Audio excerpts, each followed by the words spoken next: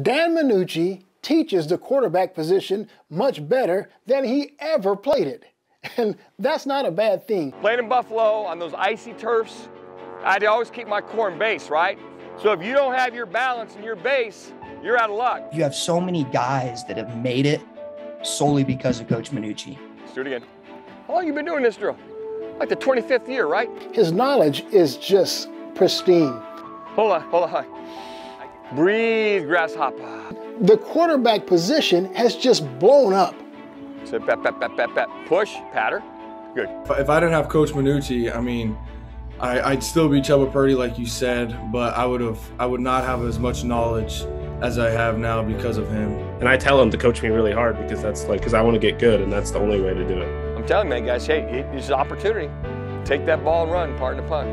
Dan Manucci has helped elevate the quarterback classes here in the state of Arizona. Okay, now we need some touch. Okay, this ball here, we can't throw it flat. And if we didn't have him, it would, I don't know where I'd be. I, I guarantee I wouldn't be playing football if it weren't for Coach. Stay balanced. That boy. All right, reach. Reach. Right. Bang. That boy. Nice.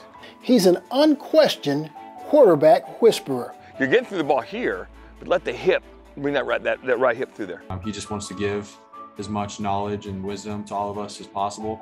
And for me, I'll, I'll, always be grateful for that. And like I told you guys, he, that kid coach is looking for somebody.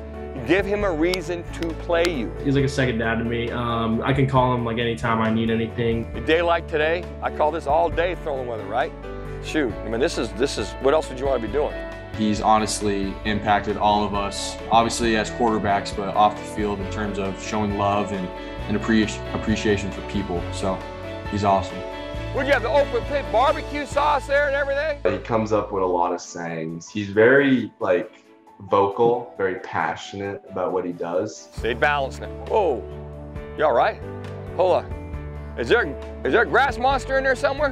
Where's he at? I got him. He picks you up when you're down and and coaches hard, but at the same time, he's going to joke around and have a good time with you.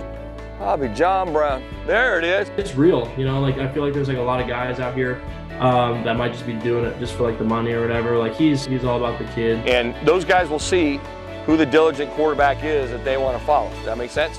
I hate to say this because the guy's head can go like this, but Dan Manucci knows the quarterback position. He's a hell of a teacher, and Arizona is proud to have him. Coach, I'm so grateful for you. You've changed my life, not only as a football player, but as a man. Um, hands down would not be where I am today without you. Coach Manucci, congratulations on this distinguished Arizonan award.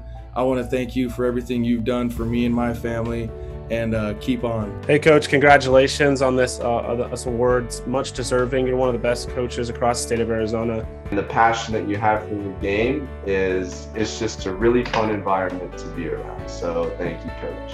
The love that you've given us, um, your knowledge, your wisdom, it means the world to all of us. And just your humility, the way you go about life. Uh, I'll, I'll always look up to you in, in that way and, and appreciate you for who you are. So we thank you. I thank you, and I love you. Congratulations on this very prestigious award, Dan.